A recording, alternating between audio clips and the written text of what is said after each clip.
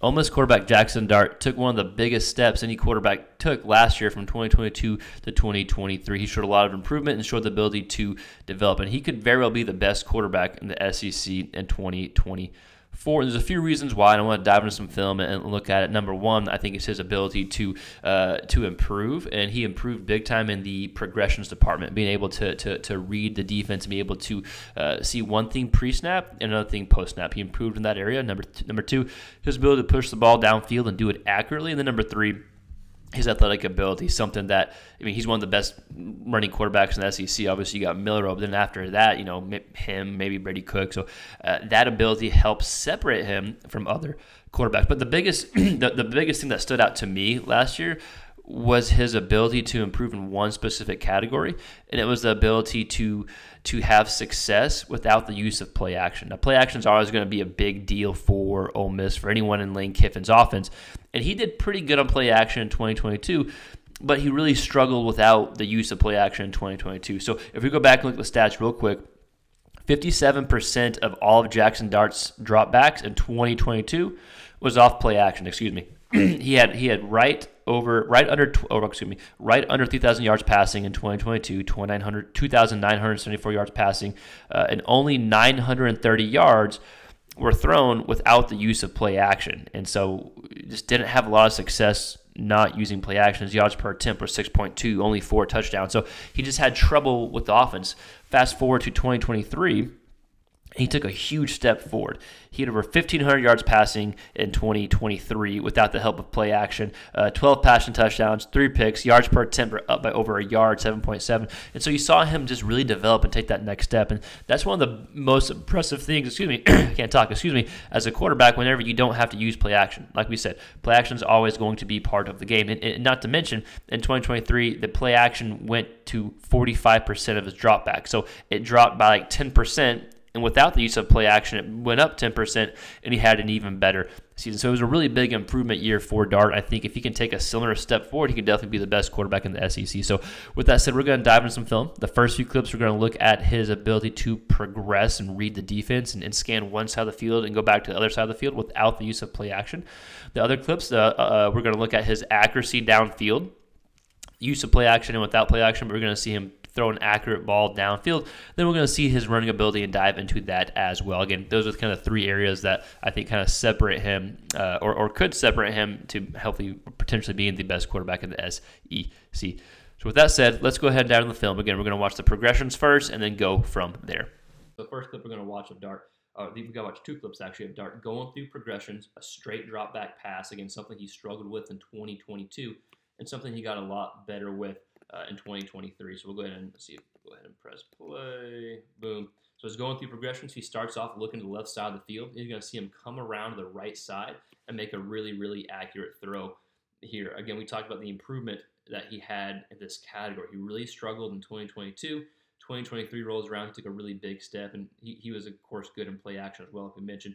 Uh, but I like seeing these type of throws. I like seeing this is stuff that can transfer to the next level where you have straight drop back throws uh, that you have success on. So a good accurate throw. Again, he looked at the left. Let's see if we can. Can I? Let's see. We fast forward a little bit. Boom. So we're gonna see beginning the play. He looks to the left. Boom. Nothing there. Comes back to the right. And then delivers a strike downfield, accurate throw. Pretty good coverage as as well. So again, this is probably my favorite thing about about Dart. I think this is you keep building on this. I really think these type of throws is what can potentially make him the best quarterback in the SEC. It's going to watch one more throw like this, and there's a few more categories I want to dive into. Similar uh, play to last last play we just watched. Now there is a little like kind of fake play action here. Almost it's not play action, but it's a fake screen, and he comes across the field. But he's still going through his progressions here. He still has to get his his eyes to the other side of the field. But it's a really really good throw in the tight coverage. This is against Georgia, a really good team, obviously. So we're going to see some pressure starts to get in his face. The pocket starts to collapse his eyes remain downfield, and you're going to see him be able to put the ball into a really, really tight window here. It's kind of blurry footage, I apologize. But right here, not a lot of room for error, uh, but he's able to throw a strike for a big play at this point point in the game. Really good throw by Dart here. So it's throws like this that I think, like, man, if he can keep repeating that, repeating that, which he did in 2023, uh, could, could, potentially make him the top in 2024. So we're going to watch a few more things, a few more clips Uh, I want to show his athletic ability that he has. I think you know something else that helps him stand apart from some of these other top quarterbacks in the SEC, like maybe Quinn Ewers and Carson Beck.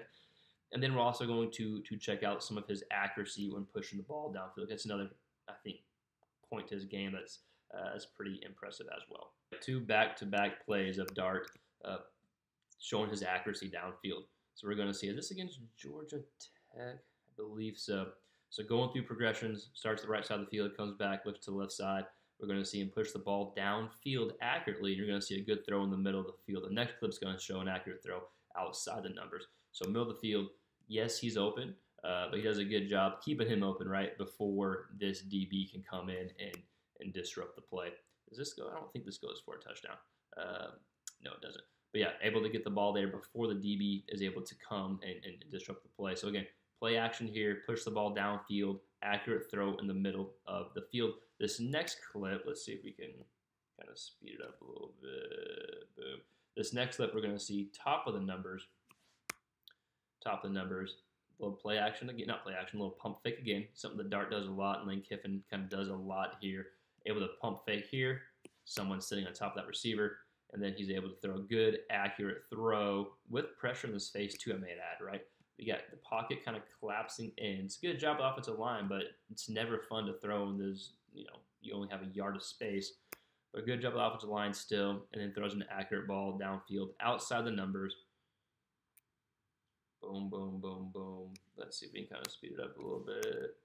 And then right there, right? Pretty good recovery by the DB, uh, but nonetheless an accurate throw by Dart that does it lead to a touchdown? The knee, knee down. So maybe we'll call it the one yard line, but still two accurate throws, two good examples of, of Dart being able to push the ball downfield in an accurate manner. So a few clips of Dart running here. The first clip is going to be a scramble, goes for a first down. At this point in the game, Tulane's up by was it 10? Was it 17-7 here? But regardless, Dart scrambles here. The next player you're going to see a design quarterback run. And, and, Dart's one of the best running quarterbacks in, in the SEC. Obviously, Milroe is going to be number one. But, I mean, him and Brady Cook, both deceivingly good athletes. And they, they, they utilize their ability to run uh, often. So this time, pressure comes in.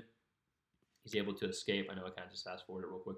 He's able to escape, pick up the first down. In this case here, um, it's a broken play, able to pick, pick up a first down. This next play we're going to see is a designed quarterback run. This is what I think separates Darts from so many other quarterbacks and so many other uh, just players in general. It's his ability to to run when needed. So this play is actually kind of broken.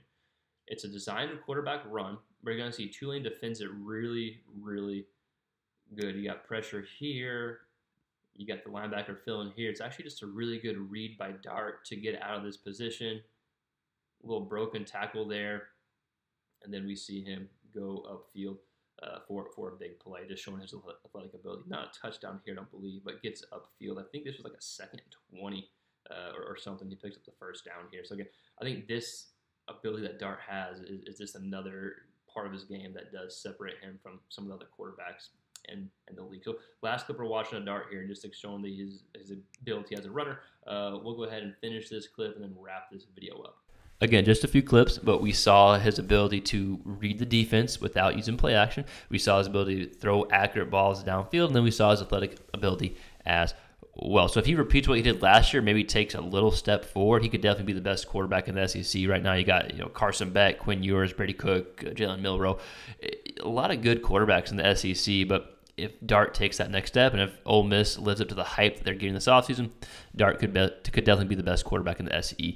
So, Ole Miss fans or just quarterback fans in general, let me know your thoughts in the comments below. What do you think, one, about Dart's improvement from 2022 to 2023? And then, two, let me know what your thoughts are if he can be the best quarterback in the SEC. If this is your first time tuning in the channel, please consider subscribing, like, share the video, all that fun YouTube stuff. It really does help us grow. We're just a big quarterback hub. We talk all things quarterback. So, like, share, subscribe. Let us know your thoughts in the comments below, and uh, we'll see you next time. Peace.